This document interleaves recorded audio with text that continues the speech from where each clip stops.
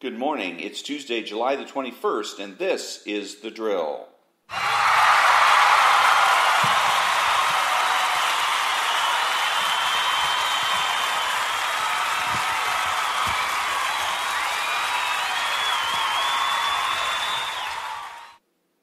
Thank you very much. I'm Ron, your host and the only true conservative in the United States today. This podcast is not about convincing your politician to do a better job, but to thwart the efforts of your neighbors and coworkers to shut you up or to convert you to socialism. The efforts to defeat socialism must recognize that culture informs politics and acts accordingly. My podcast is short, approximately 5 to 10 minutes long, because shorter podcasts are easier to download and listen to. I've been listening to conservative talk radio since 1989. I've grown up in a socialist household and I've learned the tricks of socialism. My podcast is made available through Spreaker and can be heard on iTunes, Spotify, Google, and YouTube. Today, what can a conservative do? Quote of the day, positive news, and Attorney General Ellison. All that when I come back.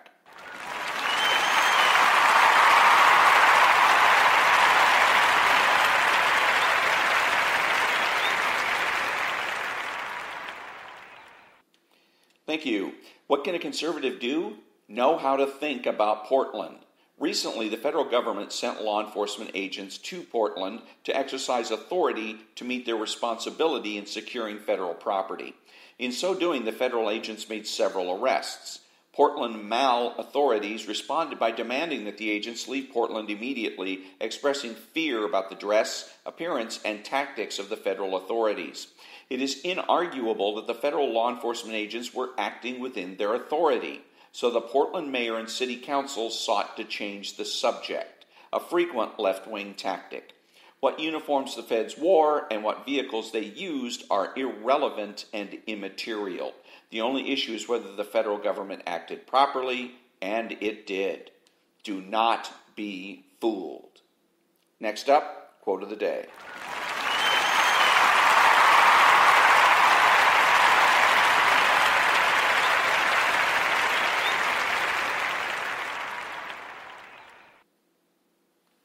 Thank you, thank you. The quote of the day comes from dailyscripture.net.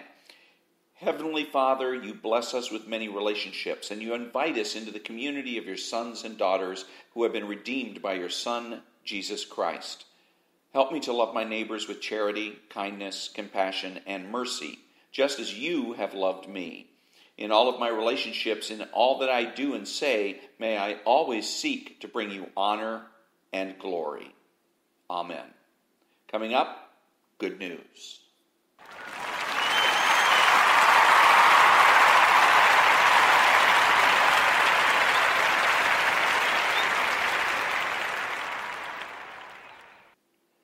Thank you. From Fox News via Parler.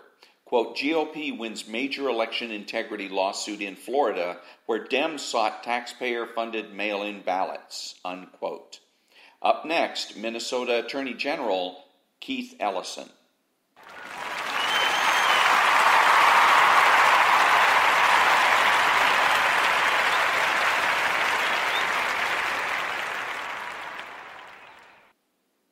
Thank you. According to Minnesota Attorney General Keith Ellison, women who have just been sexually assaulted would prefer to talk to a social worker than law enforcement. The former DNC deputy chair and congressman shared his thoughts on a Zoom meeting about how rape victims feel after being attacked.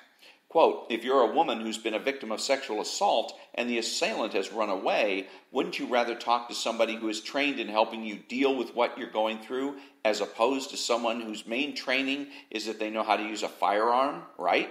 Unquote. There is at least two problems with this statement. The first being that the AG is being materialistic by insisting that law enforcement is not part of criminal justice. Materialism is about uh, the only things that are real are, is that which you can touch and feel. That concepts and abstractions are not real. By insisting that the only problem with rape are the physical and psychological consequences and not the conceptual issues of ethics and justice, deciding what's right and wrong, as well as deciding what people deserve from one another and from society, are just as real as the people themselves. The second being that the AG incorrectly defined the term law enforcement. The essence of being a police officer is enforcement of the law, which contributes to our sense of justice. The AG has defined police officers as those who have been trained in the use of firearms. This is a misdefinition because security guards are also trained in the use of firearms. Military personnel are trained in the use of firearms. Civilians can be and frequently are trained in the use of firearms. Yet none of the above can be considered law enforcement. By misdefining the term law enforcement, A.G. Ellison can twist things to create the illusion that calling the police after an assault is an unreasonable thing to do. Do not be fooled. Back in a minute.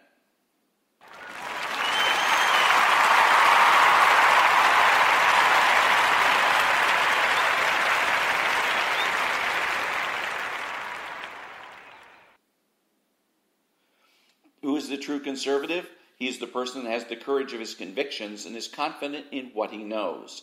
He's the person that understands that cultural conservatism is more important than political conservatism. He's not selfish but minds his own business. He acts like an adult. He is patriotic and uses common sense. He expresses what he knows and does so with certainty. He makes judgments, refuses to speculate, speaks clearly and definitively, and is not afraid to say no. He is open minded, asking why rather than why not. He is consistent, credible, and influential, not ashamed of his existence, unafraid to learn or correct his mistakes. He is a normal American, and he is better than the socialist. He is a better friend, father, brother, family member, and a better person, period. You have to know that. If you do not know with every fiber of your being that being a true conservative is best, then you are wasting your time. And that concludes another episode of The Drill. Be honest, be smart, be beautiful, and always ask yourself what is real, how do I know, and what should I do about it? I'm Ron, and that's the drill.